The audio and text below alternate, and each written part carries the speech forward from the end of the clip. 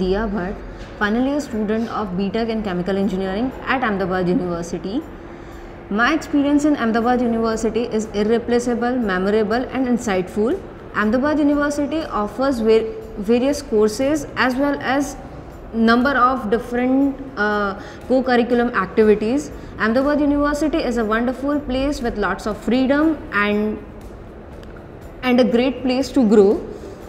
I'm currently in my final year, and I would say that this four years have been just marvelous for me. For me, it's uh, it's not just about the education, but it is about the experience and exposure one gets at the university. And the chemical engineering program helped me to grow, to explore the opportunities, as well as fostered an ambition to know more.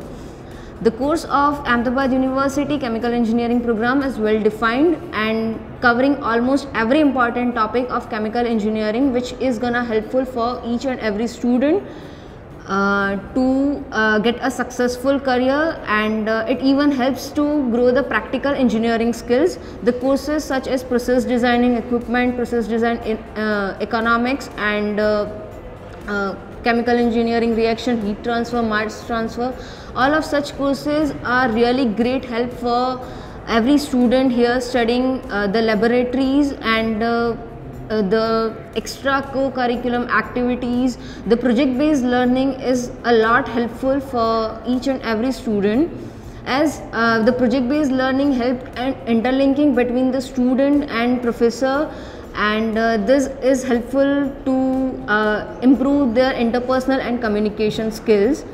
Other than that i would like to say that uh, if beginning like uh, in my first year i was bit nervous i was bit uh, scared about what i'm gonna do in this four years but this four years have been have been just helpful for me in the way that I could uh, I could have defined uh, with the projects I could have defined the uh, career path what I'm gonna do after this four years program. And I would like to say that initially it was all complicated. It was like an overly complicated things and concepts coming into me uh, but now it feels like everything is getting uh, everything is uh, everything is getting tied in together and uh, i'm being able to understand what lectures were trying to teach me from the right first day of my college. Other than that just one line i would say that i don't know which university is best for you but i would like to say that i would never ever regret a single day spent at ahmedabad university. Thank you